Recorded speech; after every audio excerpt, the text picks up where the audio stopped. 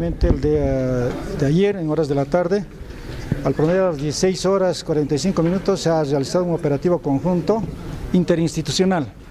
Eh, entre la policía, inteligencia policial, CDGs y el gobierno municipal y otras eh, entidades, cuyo resultado pues eh, tenemos de que con el, arresto de muchas personas, entre ellas trabajadores sexuales mayores de edad, y sin embargo también había la presencia, en este caso, de dos menores de edad, que lo cual nos preocupa y de ello, pues eh, una vez que han sido conducidas estas dependencias, se ha podido establecer que evidentemente eran dos menores de edad.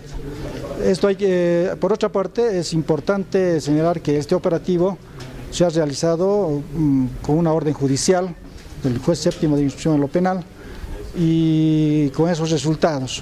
Obviamente que todo este trabajo está también ah, bajo la dirección funcional del Ministerio Público y también de la Defensoría. Coronel, ¿por qué se arrestó a las trabajadoras sexuales mayores de edad? ¿Por qué se las arrestó? ¿Qué delitos han cometido? No, eh, hay que indicar de que se ha arrestado a un grupo de personas.